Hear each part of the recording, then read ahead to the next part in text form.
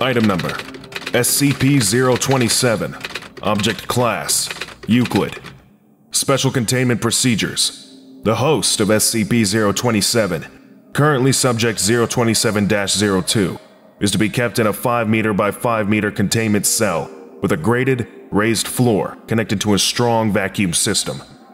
All creatures removed from the subject's containment cell are to be incinerated, except for a small portion to be diverted for analysis and necropsy.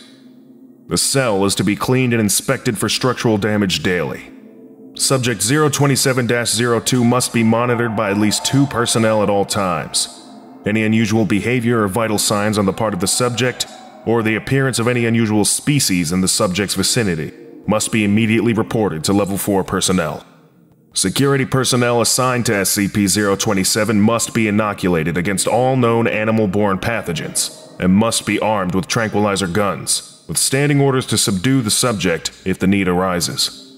Until SCP-027 is better understood, no personnel of Level 4 clearance or higher should approach within 200 meters of the subject. Description SCP-027 appears to be a phenomenon of unknown source that seems to be tied to one human subject, currently 027-02, at a time. As a host to SCP-027, Subject 027-02 is constantly surrounded by swarming vermin that are drawn to his location. The subject does not appear to be able to assert control over these creatures in any way, and is in fact prone to occasional attacks from feral specimens. These creatures have also been known to attack personnel who approach too closely. Wherever the subject goes, an initial swarm of flying insects, such as gnats and flies, will start to form a cloud around him, usually within two to three minutes. Shortly thereafter, crawling animals, including lice, cockroaches, worms, spiders, data expunged, mice, and rats, will begin to appear. The longer the subject remains in a location, the more vermin will gather there. When the subject leaves a location, some of these creatures will follow, but most will disperse. SCP-027 has been known to transfer between hosts once, upon the death of the first known host. Subject 027-01.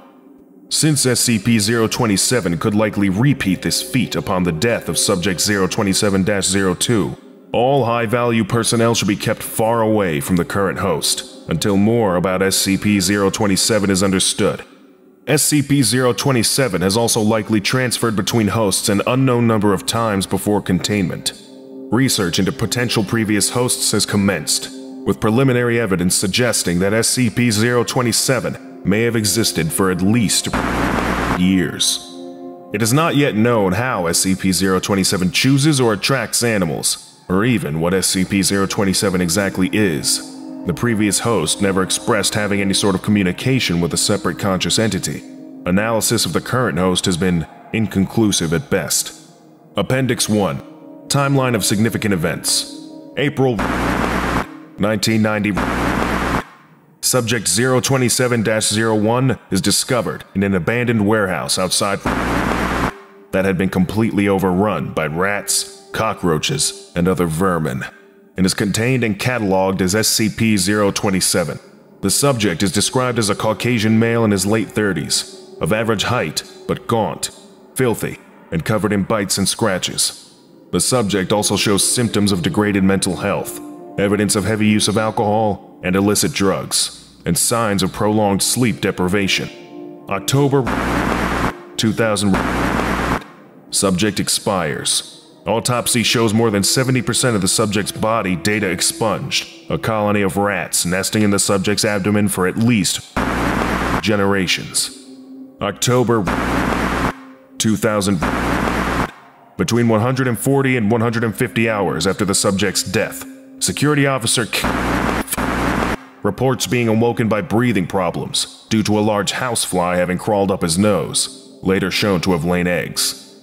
Subsequent observations led to categorization of Officer Subject 027-02. The original host is reclassified as Subject 027-01, and SCP-027 is redefined. Data expunged.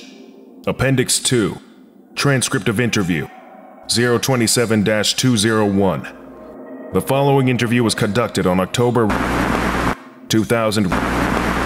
Shortly after, Subject 027 02 was identified and transferred to the containment cell that had housed Subject 027 01. Dr. Jameson. Good morning, Officer. Fr- How are you feeling? Subject 027 02. Scared, confused, mostly scared though. J. Understandable. S. And itchy. Feel like I need to shower all the damn time. J. Ah. But what about, um, inside? Do you feel anything different inside you? Like a presence? S. Thinks and scratches his head. No, I don't think I do. I haven't really noticed anything like that. J.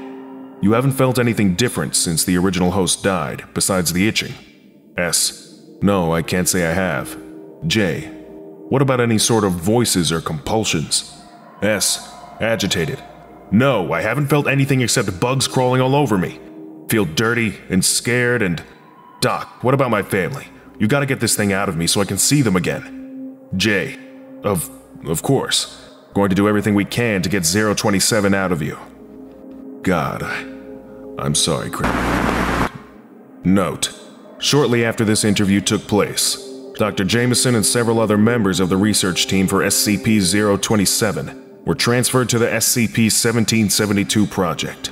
Item number SCP-149 Object Class Keter Special Containment Procedures SCP-149 in any of its instances is to be kept inside a sealed plexiglass box for observation.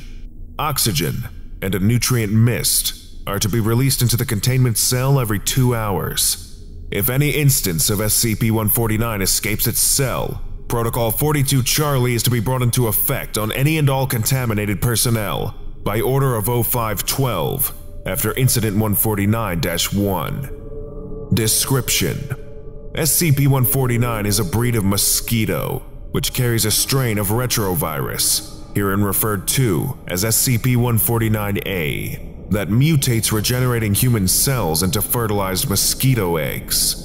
SCP-149-A is injected directly into the bloodstream when SCP-149 feeds.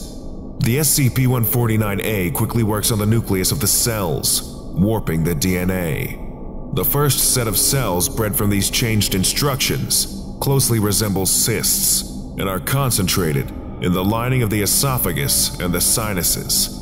Upon dissection, however, these cysts are revealed to be filled with SCP-149's larva, the cysts acting as a protective casing against external forces. SCP-149 appears to go through its maturation cycle in a matter of hours.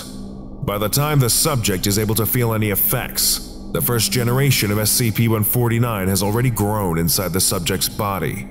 SCP-149 primarily achieves exodus through the mouth and nostrils, occasionally being diverted through the sphenoid sinuses to escape through the eye sockets.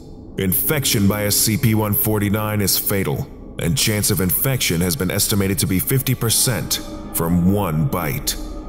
Addendum Incident 149-1 An incidence of SCP-149 escaped and infected multiple Class D subjects, the majority of whom did not report SCP-149's contact with them. Within five hours, SCP-149 had matured in these hosts and burst out of them, infecting several staff members. It was only thanks to the quick thinking of Dr. who sealed sublevels 12 through 15 that the entire site was not infected. As a response to this, O5 Command has created Protocol 42 Charlie, to be used if SCP-149 escapes confinement. Item number SCP-150 Object Class Keter Special Containment Procedures SCP-150 patients kept for study should be contained in Level 3 biohazard containment cells, with no more than one instance per cell. Cultures of SCP-150 are contained in vacuum-sealed glass flasks in the Site-42 Infectious Materials Lab. Standard pathogen handling procedures should be followed at all times. Any instances of SCP-150 found outside of containment are to be incinerated. Description SCP-150 is an obligate parasite that resembles the tongue-eating louse, Cymothoa exigua, but is adapted to form conjunctive symbiotic relationships with humans for a period of its lifespan. Upon contact with a human subject, SCP-150 embeds itself deeply in the flesh of its host. Over the course of approximately seven days, the parasite will burrow into the host and affect numerous physiological alterations. The most glaring alteration is the gradual conversion of the limb nearest the infection site into a chitinous appendage. As SCP-150 consumes the host's flesh, it excretes tissue that replaces and augments the functionality of the host's limb without causing transplant rejection. It is suspected that SCP-150 is able to secrete anesthetic and immunosuppressant substances to prevent the host's body from responding to the change. Furthermore, the nervous tissue excreted by SCP-150 is able to interface with the host's nervous system. By the time the process is complete, the host will be able to control the affected limb with no loss in mobility, and often with improved strength, reflexes, and resilience. For a period of one to two weeks, SCP-150 will reproduce, feeding on nutrients from and depositing eggs into assimilated blood vessels.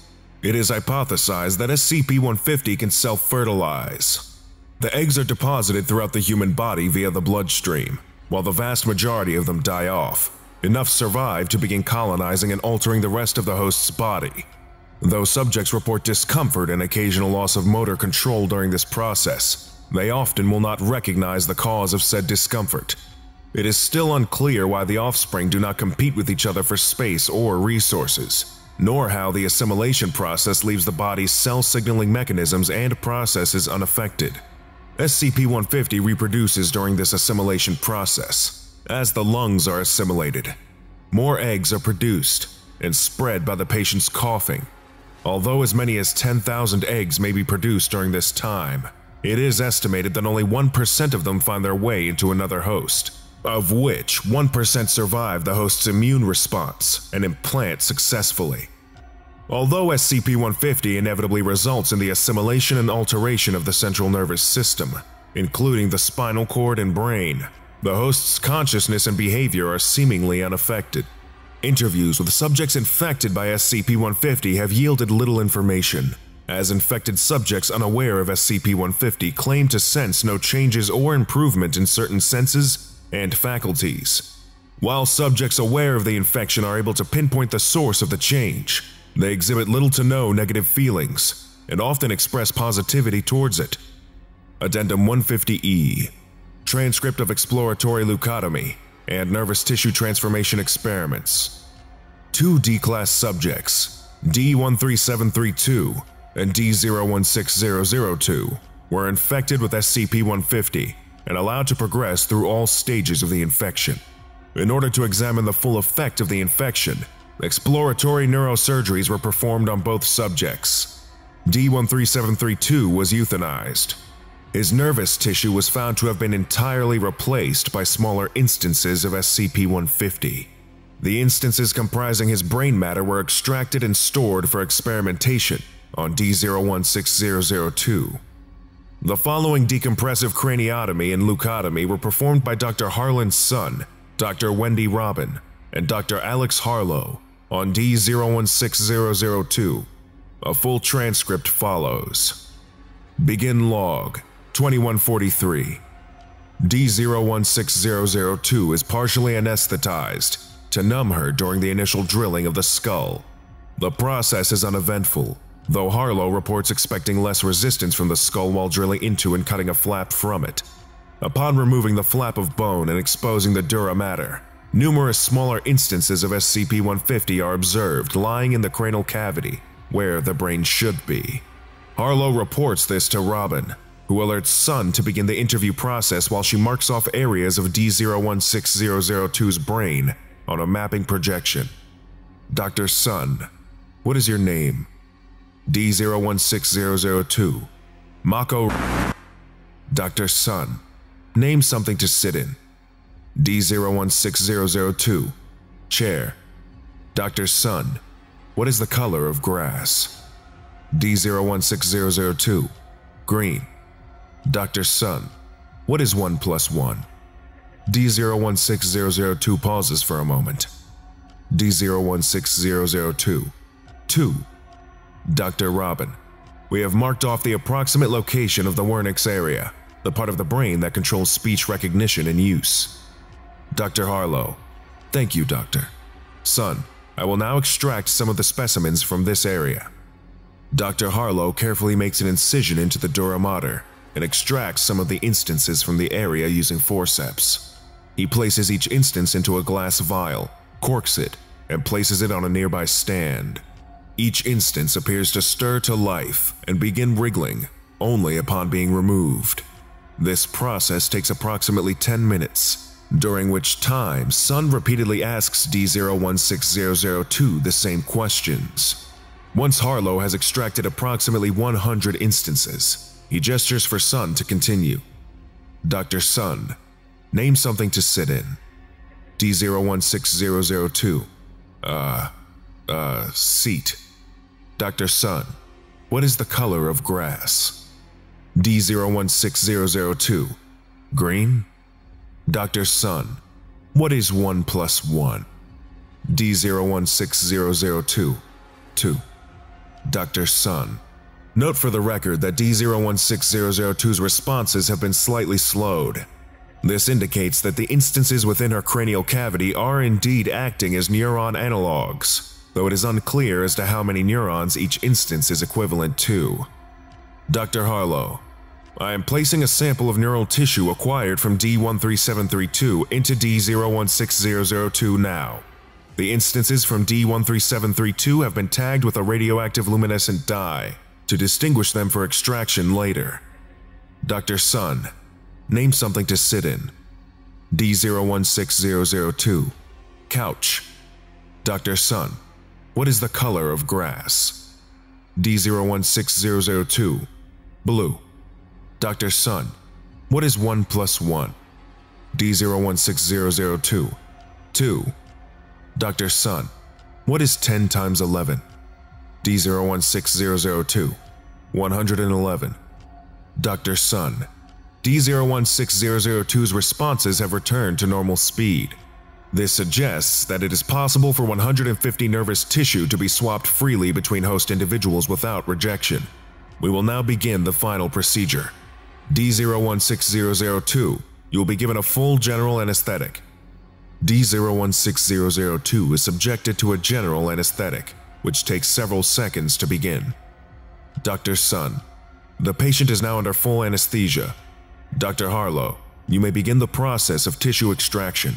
For this final procedure, we will be attempting to completely replace the brain tissue of D016002 with that of D13732. Previously, during the exploration of D13732's cranial cavity, Dr. Harlow and I observed that the instances connecting his brain matter to his spinal matter were not secured in any way, and in fact seemed to be switching positions with other instances in the brain. We will be seeing how far this compatibility extends. There is silence for the next hour as Doctors Harlow, Sun, and Robin remove the top of D016002's skull and begin extracting her brain matter into a large glass container. Dr. Sun, extraction complete. D016002's brain matter has been successfully removed. Dr. Harlow is now placing D13732's brain matter into D016002's exposed cranial cavity. Silence for several minutes. Dr. Robin, heart rate steady. We have a pulse and breathing. Give it another minute. All right, I'm going to wake her up. There is a pause as Dr. Robin reduces the anesthesia, and D016002 awakens. Dr. Sun, what is your name? D016002. Michael. Dr. Harlow, faintly heard in background. Jesus. Dr. Sun, name something to sit in. D016002. Beanbags. Dr. Sun, what is the color of grass? D016002. Green. Dr. Sun, what is 1 plus 1? Quiet sloshing can be detected by the microphone. Dr. Robin, hey, uh, Sun? D016002. 2. Dr. Robin, Sun, look. D016002's brain is shown to move of its own accord, subtly moving back and forth. Dr. Harlow, well, that's new. Dr. Sun, do you feel any pain anywhere in your body? D016002, my chest is kind of heavy. Feels just the same otherwise. Dr. Sun, good to hear. Now, what is D016002? Hey, I usually feel pretty energetic, even before surgeries, but I'm kind of tired right now. Lately, I've been exercising before I sleep, but since I can't sleep here, is it okay if I can just rest a little bit? Dr. Sun, rest. D016002, like three, five minutes. I can do that here if it's okay. A small portion of the top of D016002's brain parts before making a gurgling sound. After the portion closes, sections of D016002's brain retracts into itself rapidly. D016002's eyes close.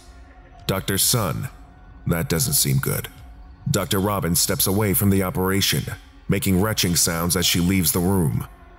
Dr. Harlow, D016, uh, D13732, are you okay? D016002, yeah, yawns. I'm fine. Why do you ask? Item number SCP 302. Object Class Safe. Special Containment Procedures. SCP 302 is to be kept in sight under Safe 3 protocols. Artifact should be handled with gloves at all times, and utmost precautions should be taken to ensure that the artifact does not make skin contact with unauthorized personnel. Any personnel not scheduled for testing that begin showing signs of SCP 302's effects may apply for termination. All subjects suffering from SCP 302's affliction should be terminated after no longer than 8 days due to data expunged. Description SCP 302 is a small tin sculpture with a bronze patina finish depicting two ants carrying a leaf. Whenever a human makes direct skin contact with the artifact, they will invariably find a single, small, relatively harmless ant on their person within two hours. This ant may belong to any of several different small ant species, and its appearance rarely causes much alarm. It is of note that in all recorded cases, subjects have always distinctly noticed this first ant and fully remember seeing it. Thereafter, an exponentially increasing number of ants will appear on the exposed subject by day. Throughout the entire day, the number of ants that appear seems to be in the range of 3x to 5x, where x is the number of days since initial contact with SCP-302. As time progresses, the ants not only increase in number, but also change in species. Smaller, minimally harmful species appear at first, later transitioning to larger species, or species with more painful stings or bites. Ants seem to appear out of the nearest unobserved space. This includes from under clothes, nearby objects, or, if left with no alternatives, bodily orifices. Ants seem singularly preoccupied with exploring or attacking the affected individual, and will not stop until either themselves or the subject is deceased.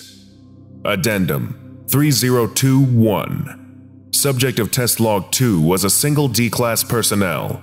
Subject was told he was to participate in a study testing how a week of relaxation might affect the performance of D class personnel, and was kept in a relaxation chamber with exercise equipment, various books and magazines, and a color television. Subject was exposed to SCP-302 without his knowledge.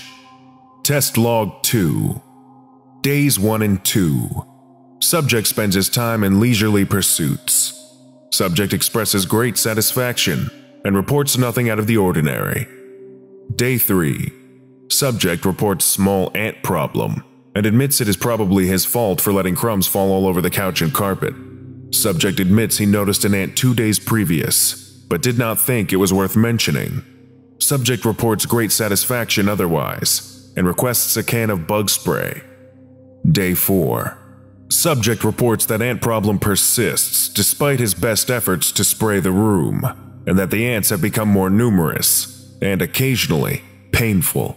Subject reports that the ants seem bigger and different from those he saw the day before. Subject still reports relative happiness with the experiment. Day 5. Subject reports great annoyance and increased pain, as ants are now nearly always on his person. Ants seem to have changed once more, becoming more aggressive and agitated. At this point, subject clearly suspects ants are not of a normal nature. Day 6. Subject in great pain. On average, five tropical greenhead ants are seen to appear every minute on subject throughout entire day. Subject becomes aggressive due to pain and demands to be released from chamber. Pretense for experiment is dropped, and subject is restrained and given medical attention. Day 7. Subject in great pain. An average of 25 tropical fire ants are seen to appear every minute on subject. Subject requires continuous ant removal. Day 8. Subject is heavily medicated and unconscious through majority of day. An average of 140 bullet ants appear on subject each minute. Rapid ant removal and anti-inflammatory medicine is necessary. Day 9. Data expunged. Subject and experiment are terminated. Item number SCP-378 Object Class Thaumiel Notice from the Foundation Records and Information Security Administration. Following the implementation of the Kraken Protocol on 2706-1963, containment procedures for SCP-378 have been updated. Personnel assigned to the SCP-378 project are to review its updated documentation as soon as possible. Claudia Southey, Director, RISA. Special Containment Procedures SCP-378 is to be contained in a subterranean entity containment terrarium. Temperature and humidity are to be maintained at levels optimal for the growth and habitation of Heterodermia canecrow, Utica cave lichen, and Prenolepis everettman, North American cave ant. Twice per year, SCP-378 is to undergo a medical and psychological examination. Access to SCP-378's containment terrarium is separated from the surrounding facility by a decontamination chamber. Handling personnel are required to wear full body protection and must be screened for SCP-378-A prior to exiting decontamination. Infected personnel are to be terminated unless the position of SCP-378-1 or 3 is vacant, in which case they are to be assigned to the relevant position instead. As of the adoption of the Kraken Protocol, SCP-378's containment is focused on maintaining its three primary containment components SCP-3781 is housed in the Area 19 barracks. SCP-3781 is employed as a maintenance technician with a security clearance of O-A19. Upon the death of the current SCP-3781, brain-dead or comatose reserve personnel may be elected to replace it. As SCP-3781 is the primary means of communication with SCP-378, care must be maintained to keep SCP-3781's vocal functions in working order. SCP-3782 currently takes the form of David Lockheed, a 36-year-old Caucasian male in the employ of the American Supernatural Containment Initiative, ASCII, as a clerical aide, to maintain the continued operations of the SCP Foundation in the United States. SCP-3782 has been tasked with sabotaging ASCII operations against the Foundation, as well as collecting information in the Foundation's interests. SCP-3782 is expected to follow a strict health and exercise regimen due to the inherent difficulty in replacing it. SCP-3783 currently takes the form of Lisa Martin, a 33-year-old Mexican-American female employee at the Spicy Crust Pizza in Staten Island. In the event of SCP-3783's death, it must be replaced as soon as possible. Each component is fitted with a tracking device and an audio recorder. Each week, Embedded agents stationed near each component are to evaluate the health and integrity of each component and its associated surveillance equipment. The utilization of SCP-378-A in further infiltration is pending Foundation Overwatch approval. Description SCP-378 is an arthropod, superficially resembling a deformed larval instance of Scolopendra gigantea, the Amazonian giant centipede. SCP-378's legs are largely vestigial, primarily meant to assist in peristaltic locomotion. SCP-378 measures 3 meters from mouth to anus, with a bodily thickness of 1 meter and a weight of 233 kilograms. Under normal conditions, SCP-378 is an omnivore, with a diet consisting primarily of lichen and insects. SCP-378 is capable of asexual reproduction at will, producing instances of SCP-378-A from its anus. Instances of SCP-378-A resemble adult Scolopendra gigantea.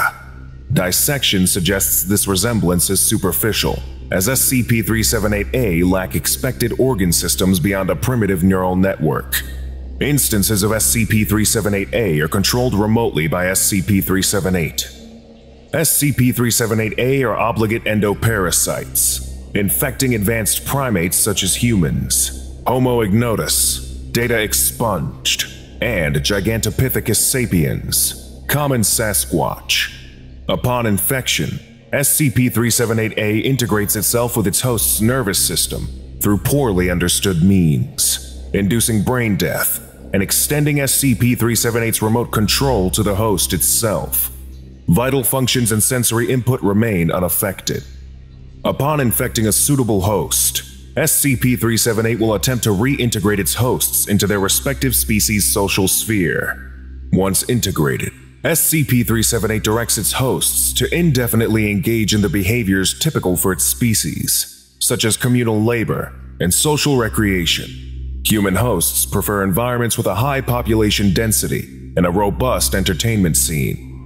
The upper limit of active hosts SCP-378 can maintain at any one time is unknown. Upon initial interrogation, SCP-378 confessed to the existence of 26 human hosts, as well as two instances of Alouatta pigra, Guatemalan black howler, and three instances of SCP-1000, of which it noted had been acquired during a period of heavy intoxication. Addendum 178-294-B a psychological evaluation of SCP-378, conducted by Dr. Simon Glass. Tentatively designated Scolopendra anomalia, SCP-378 is unique among arthropods, possessing either human levels of sapience or the ability to emulate its host's intellectual faculties. In any case, SCP-378 is self-aware and remarkably intelligent. SCP-378's relationship to its hosts is complicated. While SCP-378 maintains a consistent sense of identity across multiple hosts, each is treated as a persona for SCP-378 to roleplay. Hosts rarely interact with SCP-378 or fellow hosts, suggesting SCP-378 primarily utilizes its anomalous abilities for entertainment. This is further suggested by SCP-378's readiness to abandon such personas under duress.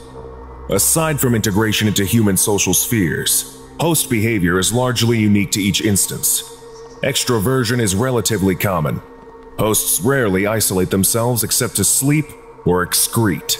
SCP-378 appears to take equal enthusiasm in stressful versus pleasant situations. Of note, SCP-378 is particularly attached to the identity of Lisa Martin. In contrast to other hosts, Lisa Martin's weekly routine is relatively static.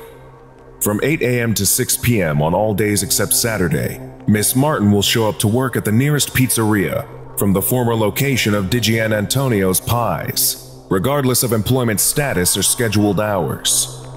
From 6 p.m. to 11 p.m. on all days except Saturday, Miss Martin will engage in the maintenance of one of 17 rooftop gardens across the city of New York. Of these, 13 are maintained by a cooperative, 12 of which Miss Martin is not a part of. From 8 a.m. to 11 p.m. on Saturdays, Miss Martin alternates between socializing with a collection of friends, co-workers, and lovers, and playing piano for various high-end bars. From 11 p.m. to 12 a.m., Miss Martin will shower, and prepare for bed. Miss Martin will sleep from 12 a.m. to 7 a.m., when she will wake up and prepare for the next cycle.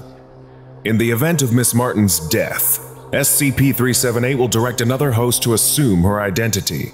Attempts to interrupt Miss Martin's routine have been unilaterally met with unusual levels of hostility from SCP-378 and its hosts.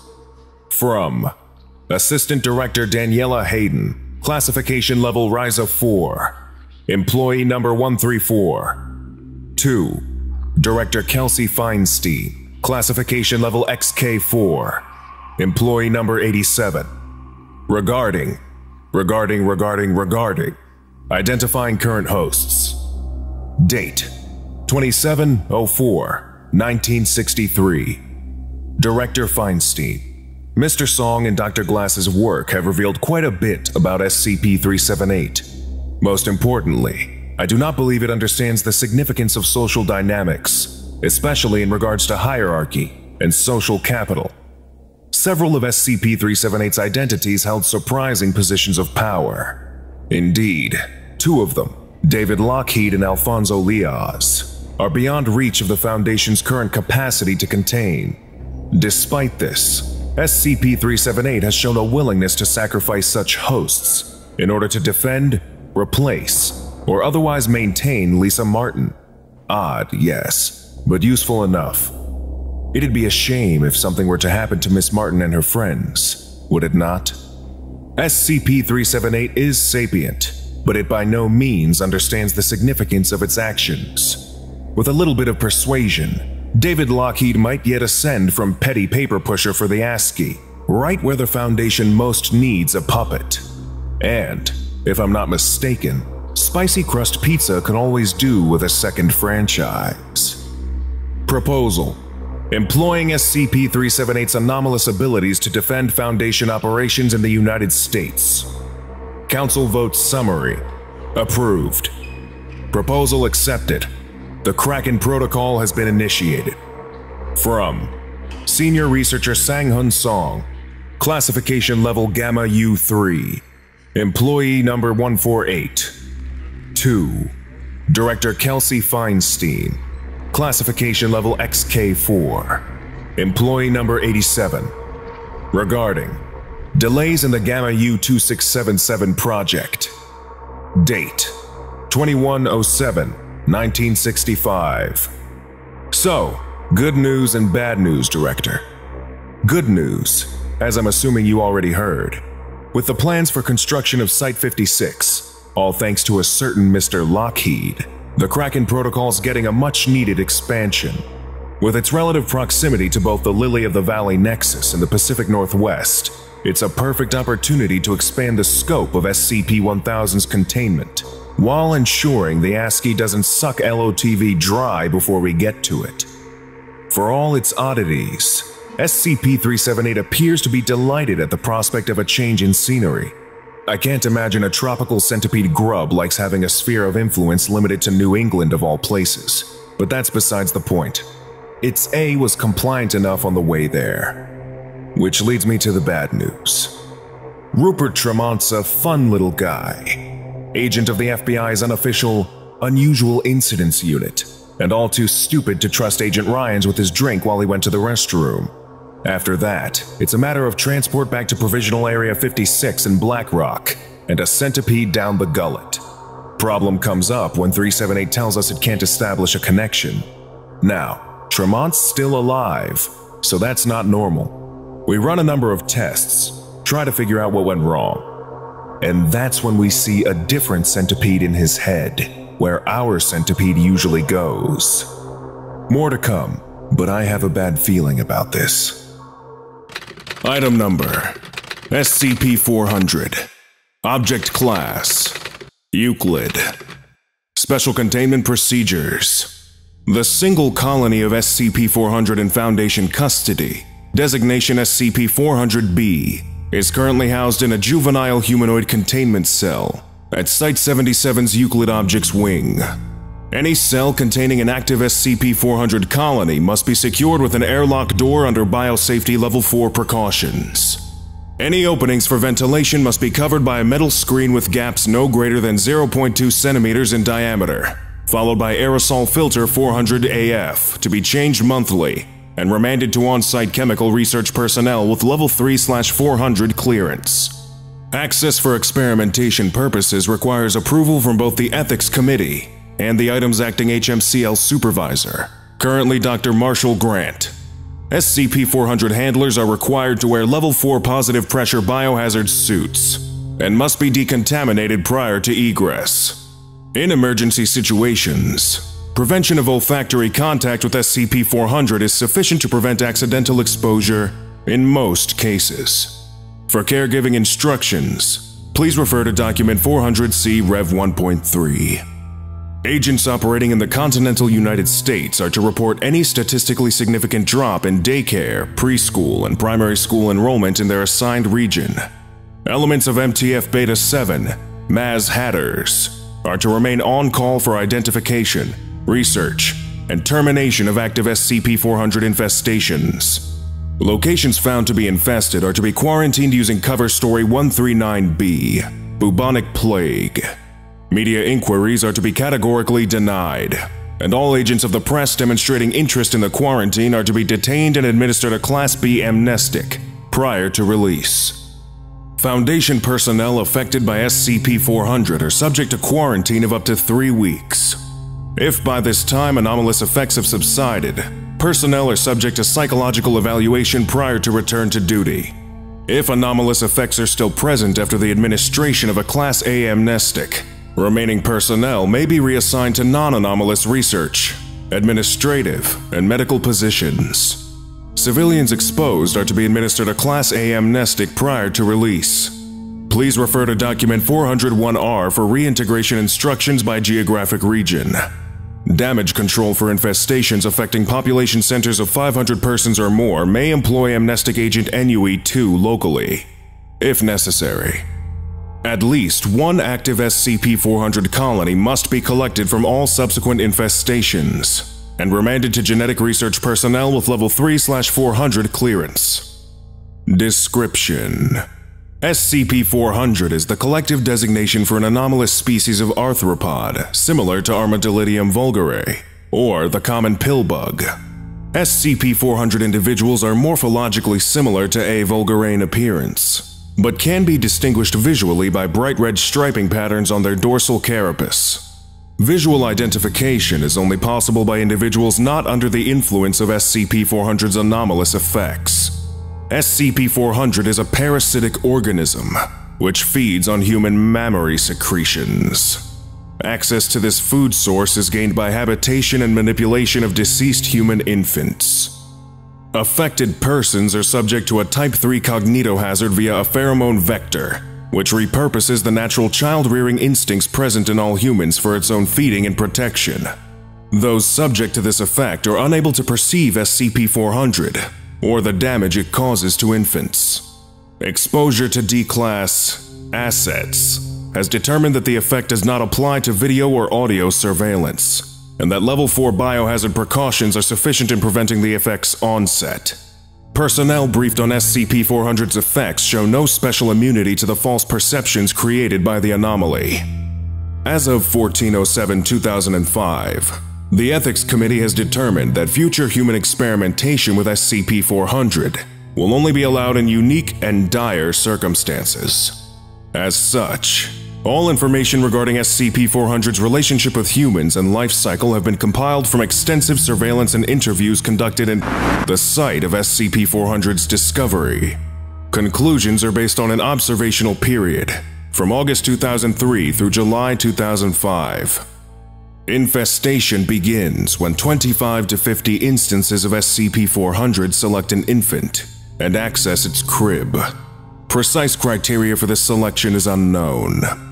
In the seven colonies observed from inception, infant targets were between three weeks and two months of age.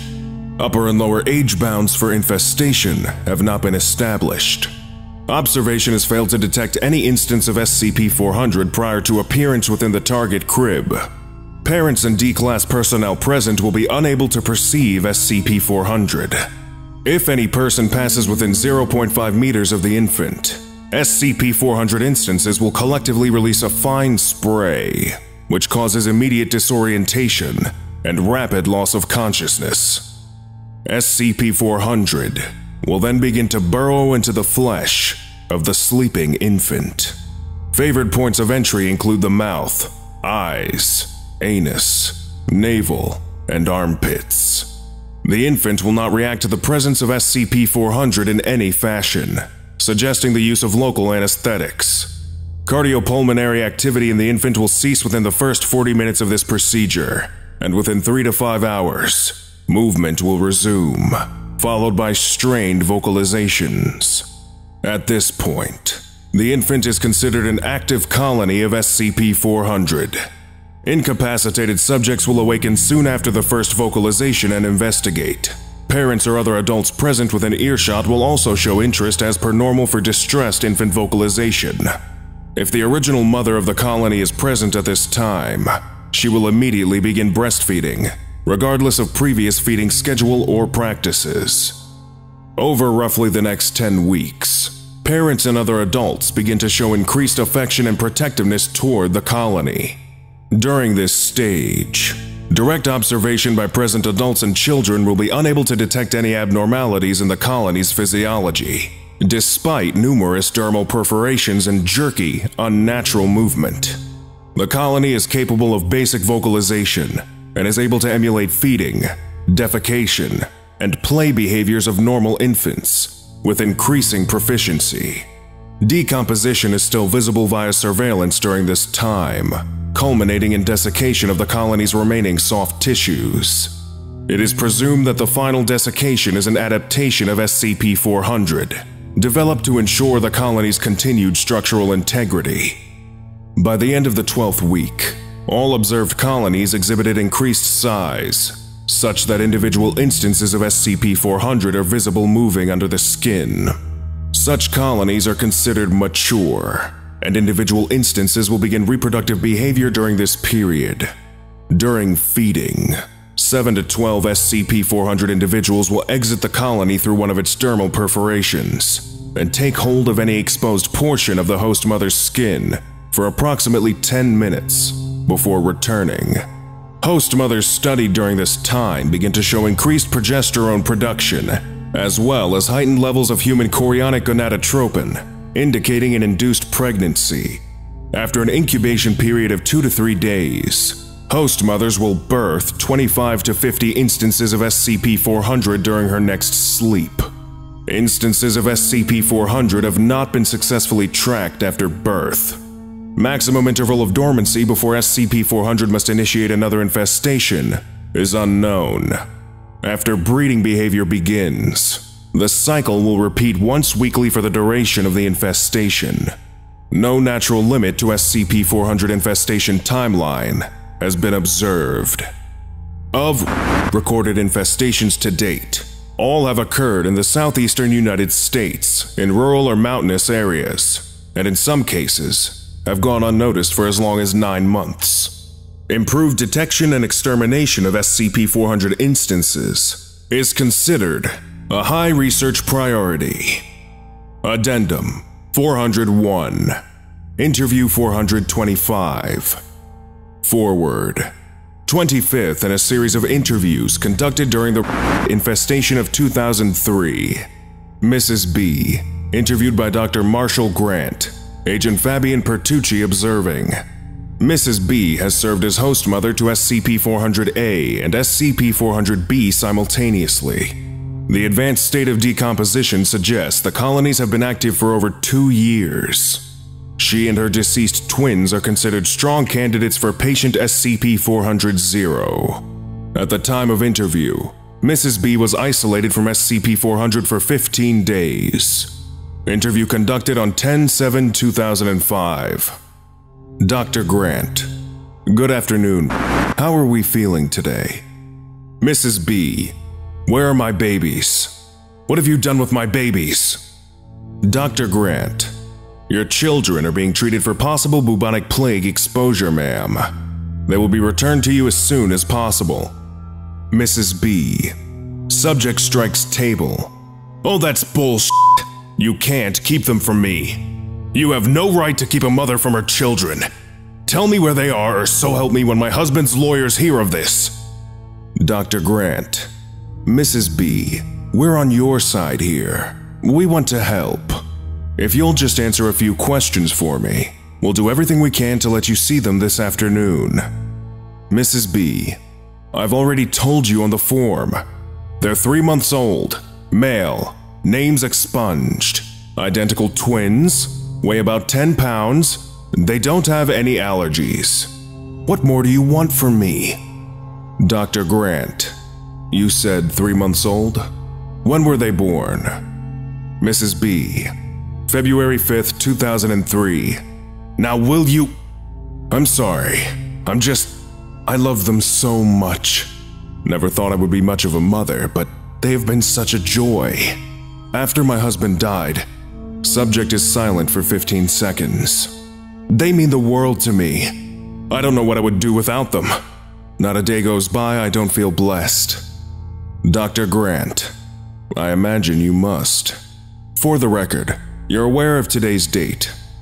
Mrs. B, it's July the 10th, 2000 Huh, well that's funny. I could have sworn they were only three months. My, time does fly. I must have a picture of them here somewhere. Subject accesses personal effects and produces a portrait of SCP-400-A and SCP-400-B prior to infestation. Here it is. Aren't they just so beautiful? Dr. Grant. Yes, ma'am. Now, has there been anything peculiar about your boys? Mrs. B. Well, there was that time in May when that doctor. No, nothing at all. If anything, they're doing too well. So healthy and full of life. I swear, little said Mama just yesterday. Dr. Grant. I'm sorry. What was that about a doctor? Mrs. B. Yes, he came to the house after they. Three second pause. Subject visibly confused. I didn't say anything about a doctor. Let me see my children, please. They're probably starving by now. They need to be fed. Agent Pertucci. Inaudible to Mrs. B. We're losing her. Come back to it. Dr. Grant. I assure you, ma'am, we're giving them the best care possible. Mrs. B. With that awful formula, I'll bet. Threw up the last time I tried that. Neither of them has touched it since. No, it's natural breast milk for them 100%. My obstetrician said that they'll need it for at least another three months, and I'm not about to take any risks. Dr. Grant, isn't two and a half years a little long to be breastfeeding? Mrs. B, they're, they're only three months old. Dr. Grant, but just now, you had said, Mrs. B, I know what I said. It's your fault. Got my head all turned around. Dr. Grant, I'm sorry if I've confused you, ma'am. It's just. Mrs. B, who the hell are you people anyway? Let me see my babies. At this point in the interview, Mrs. B refused to answer any further questions and exhibited increased emotional distress and separation anxiety. Post interview medical examination revealed extensive ovarian and uterine trauma, in excess of all other host mothers examined. Mrs. B was administered a Class A amnestic when observations were concluded and is currently under Foundation surveillance as a person of interest. Addendum 402 As of 14 7 2010, SCP 400A and SCP 400B have been active in Foundation custody for five years, indicating that colonies may be able to survive indefinitely if continually provided with food. Level 4 biohazard precautions have successfully prevented not only reproduction of SCP 400, but also the spread of all cognitohazardous effects within Site 77. Limited access for experimentation may be granted with approval from the Ethics Committee and SCP-400's HMCL supervisor, currently Dr. Grant. Please allow up to 30 days for review prior to beginning any new line of experimentation. Addendum 403 On 5-10-2010, SCP-400-A ceased activity while in containment after ingesting an experimental nutritional supplement, allowing medical examiners to dissect the colony. Despite desiccation and decomposition, muscle tissues remain responsive to electric stimuli. Highest concentrations of SCP-400 can be found in the stomach, mouth, brain case, and spinal column. Of particular note is the presence of individual specimens periodically along major motor nerves in the extremities, indicating an unprecedented level of communal intellect, utilizing the infant's extant neural architecture. Examination of the pheromones produced by individual SCP-400 instances has revealed several hallucinogenic, amnestic, and soporific compounds, which are capable of reproducing SCP-400's cognitohazardous effects. Analysis of several compounds has revealed similarities to Class B and C amnestics currently in use by the Foundation, indicating a possible security breach. Minimal risk. Aerosol concentrations of the mixture as low as 50 ppm have proven effective in initiating the effect. Further research into the genetic sequencing of SCP-400 is recommended. Lesson complete. To continue with your orientation training, subscribe to SCP Orientation right now, and make sure you don't miss any of our upcoming videos.